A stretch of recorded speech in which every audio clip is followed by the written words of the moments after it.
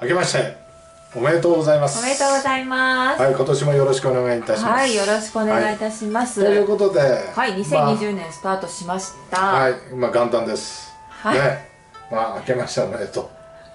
今年も野球が面白いということでうん、まあもちろんその野球を語っていくわけですがはい。まあ昨年をちょっと軽く振り返ると、やっぱこう下克上、一昨年か、あー最下位のチームがはい。両リーグとも優勝を遂げたと誰も予想しなかったという。誰も解説者は誰も予想が当たらなかったというねはい。でこういうことを考えると、やっぱり今年もそういう現象になるのかなっていうようなあ、そうですまか。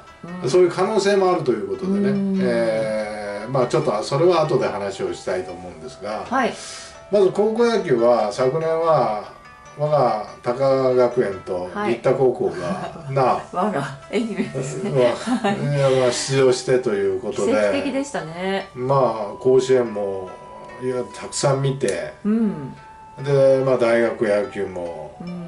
見てみたいな社会人も見てまあ見てみたいなで、まあ、やっぱり野球は面白いなっていうふうに気がついたのは、はい。まあ改めてなんだけど、うん。何が起こるかわからないというね、そうですね。うんまあ、そういうまあ、野球が展開されてたとうん。いうようなことで、まあ、今年がじゃあどういう野球になるのかということでね、はいまあ、。ちょっとお話をしたいと思うんですが、はい。まず、まあ、昨年最下位の d n a と西武、はい。これはね2チームとのドラフトが素晴らしく良かったんだよね。そうですね。d n a うん。は小園も取れたじゃない、はい、もう高校生の中では注目度がやっぱナンバーワンだと思うし、ね。うん。あの高校生のまとまりボールの力、まあ、そういうことを考えるとあそこら辺がうまく育つとなんか奥川になっていくという、奥川がじゃあヤクルトにどういうことをもたらしたかっていうとやっぱ逃げないピッチングをうん実践してみんなが逃げなくなったというね、うーん。なんかすごく相乗効果をもたらしたという。だから小園もなんかそういう風な感じになってきそうな感じがするし、で西武の方は隅田というはいもうあのに人気ナンバーワンっていそううかそう人気ナンバーワン。が一番多くて。そうだよね、はい。渡辺 GM と昔ちょっと話したことがあって、はい。さん実は東証王国を作りたいんですよっていう、でそのまでガタガタだった。で、まあ、昨年もそんなにいいとは言えない。はい。フォアボールが多い。うん。フォアボールフォアボールホームランとか。でまあそういうことで、まあ、失点をしていったんだけど、はい。でも順調に高橋光成今井松本渡辺、まうん。あ、隅田が入ってきたし。はい。らそういうことを考えると成長してるんだよね、うん。で揃ってきてるんだよね、うん。だから今年なんかはまあ2022年、うん。今年なんかはなんかブレイクしそうな感じがするし、うん。辻監督を切らなかったっていうことが、まあ、最下位になったらもう変えようかっていうことになるんだろうけどもでも育ててきた監督をうんもう1年残したということがなんか今年優位に働きそうなうん。なんかそんな感じがするよね。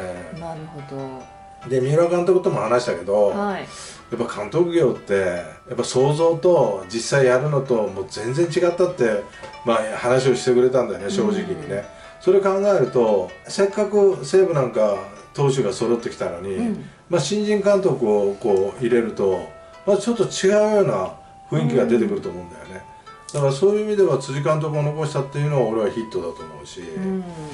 うん。だからまあセ・リーグの頃が方から話すと、うん。まあ、展開的にはやっぱり巨人が中心になってくると思うね、ああやっぱそうなりますか？うん、ヤクルトと阪神が横並うん。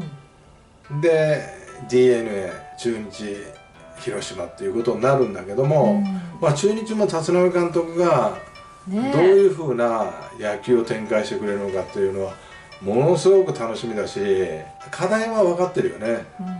うん。もう打つこと。そうですね。そうだよね、うん。だから打つことに集中して、まあ、キャンプもやると思うしで点の取り方っていう作戦も、まあ、キャンプでも多く練習すると思うんだよね中日が点を取れるチームになってくるとこれはいやもうそ簡単に A クラスにですねねなる。そうですで A クラスになるっていうことは優勝争いができるということだよね巨人が中心とは言っても怪我人が出ないところ。これがまず条件。でミスが少ないところ。これも条件。だからこういうことを考えると巨人が中心になってくるのかなっていうのがあるし、うんでやっぱり優勝したヤクルトっていうのは、はい。みんなが裕福な気持ちでいるよね。うん。だからそこら辺で気が緩まないようにしとかないとちょっと足元救われるかなっていうような、まあ、そういう心配があるしやっぱ勝ち続けるっていうことは制約が入るということ、はい。自分にチームにいろんな制約が入るということ。その制約を守れるか守れないかっていうのはやっぱチームの力だし個人の力だと思うんだよね、だからそれができると、まあ、ヤクルトは全然力あるしね。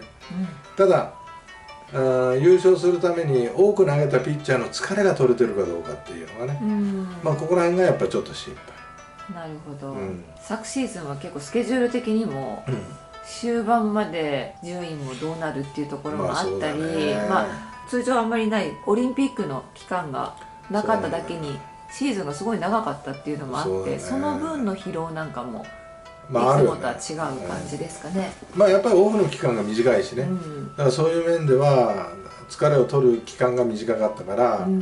だからそこら辺の調整がうまくいってるかどうか、うん。まあここら辺もちょっとやっぱシーズンの裏らの意味では、うん。まあ、キャンプから見なきゃダメだよね、うん。ファンの方もキャンプから見といてくれないと順位予想が狂うということ、ねまあ、昨年はもう怖いもんなしだよね。みんなが狂ってんの。からみんなが当たらなかったということでね、まあ、それでパ・リーグの方は、はい。まあ、中心はうん。やっぱロッテ楽天かなっていうような感じがするんだよおねオリックスではなくて。だオリックスもはい。ヤクルトと一緒で、うやっぱこうみんなが裕福になり、うん。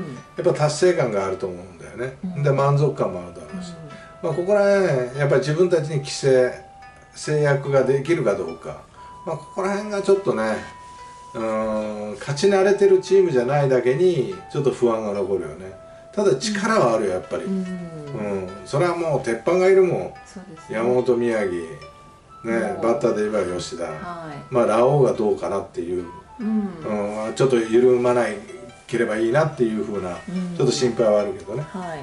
だけどまあそれ以外はそんな心配ないけど、うん。ただ全体的にチームが緩むとやっぱ勝てないよね。うん。でビッグボス、そうですね、うん。パ・リーグのこう今回のビッグニュースといえば、うん、ビッグボス。はい新庄監督。で新庄でか強くなるんじゃないかって思ってる人。はい。いきなりは絶対強くならないから。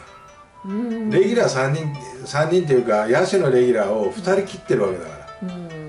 ね、えー西川と太田大使、はい。でで中田翔も含めると結局レギュラーというように言われた人間が3人抜けてるわけだから、はい。その3人を育てなきゃいけないって言ったらやっぱ大変な作業なんだよね、うん。